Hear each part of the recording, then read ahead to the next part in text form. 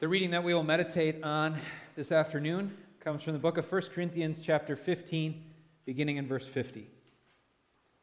I tell you this, brothers flesh and blood cannot inherit the kingdom of God, nor does the perishable inherit the imperishable. Behold, I tell you a mystery.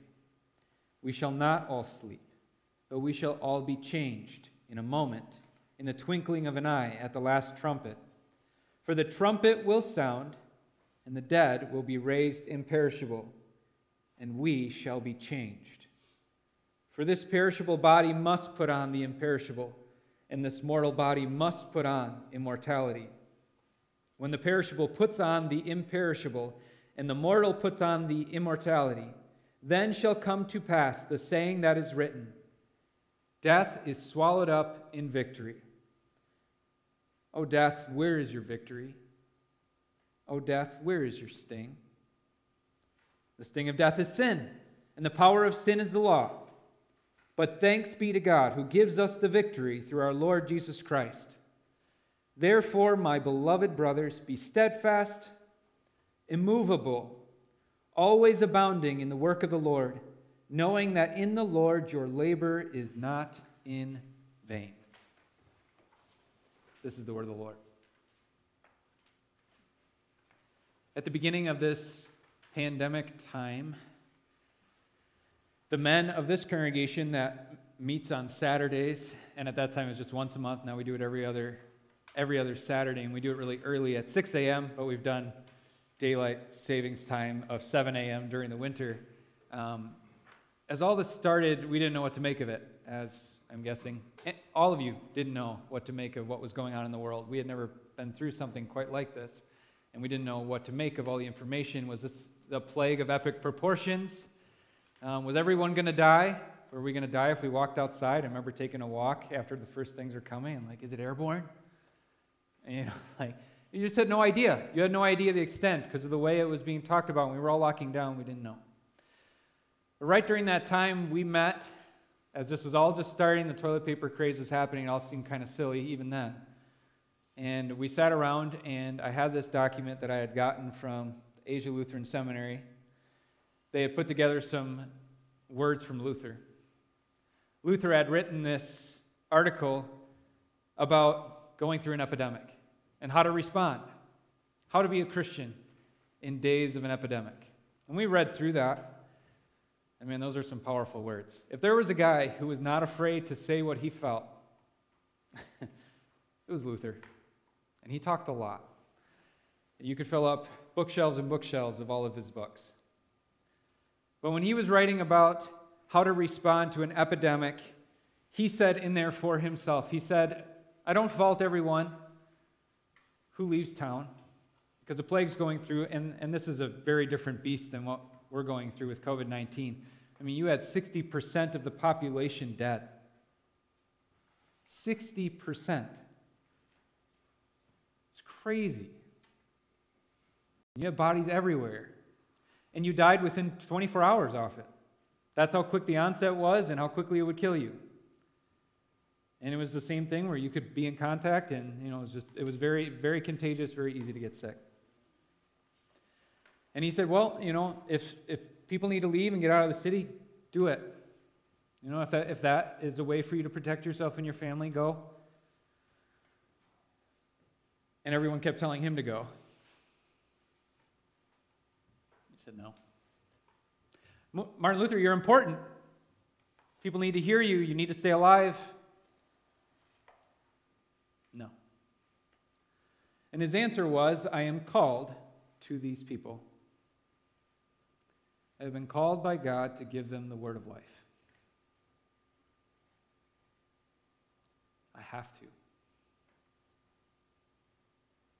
In other words, he was summoned by the master to go against his natural instinct to hide or to just think about physical safety, even though his own daughter died.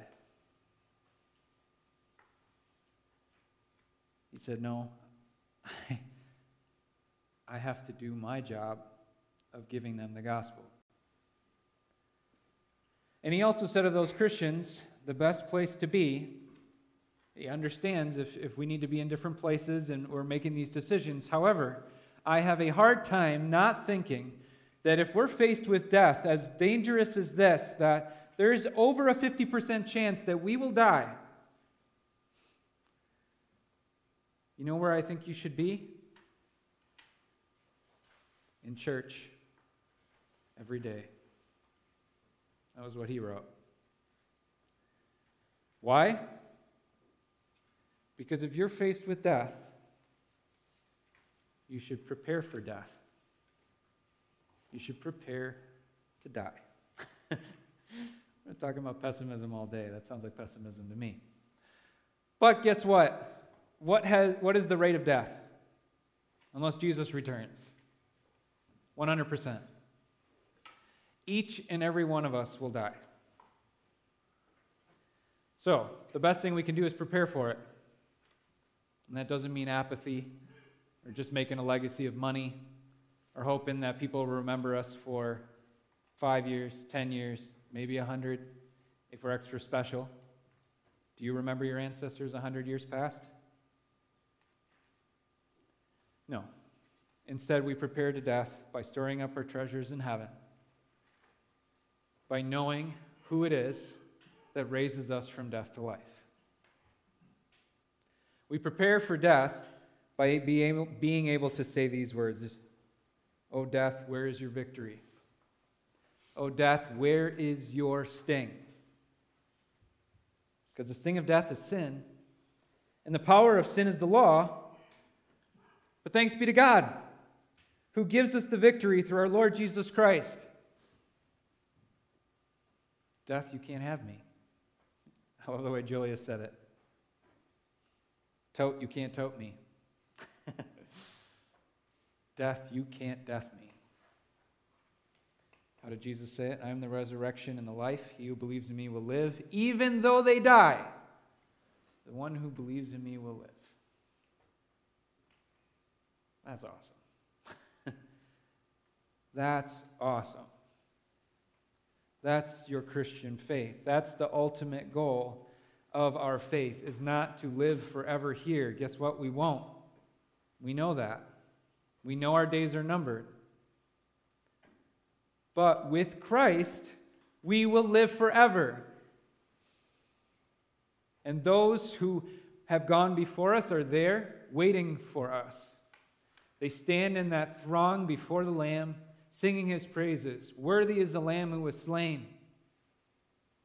Alleluia, Alleluia, who deserves praise and glory and honor.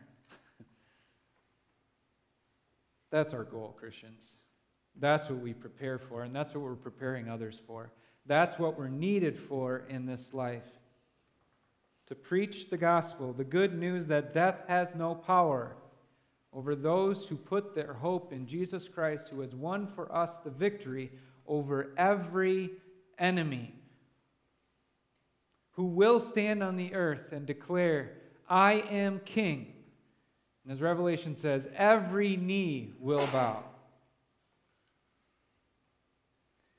That's what gives us the confidence, the motivation to get up and fight our sin, to get up and be a good father, to be a good husband, to be a good Christian, to be a good citizen, all of those things. What motivates us is not us being able to pat ourselves on the back at the end of the day or to look ourselves in the mirror and say, hey, you were perfect today.